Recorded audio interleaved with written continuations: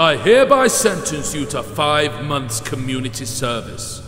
For some reason, you believe you are above the law, but I assure you, your defiance will be punished.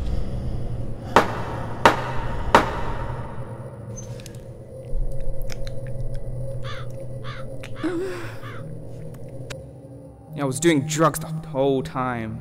Stuff like that can harm you. I've never drunk before.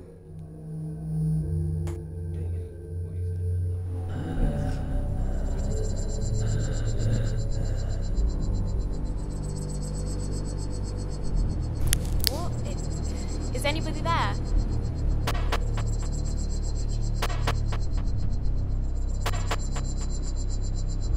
Is anyone there?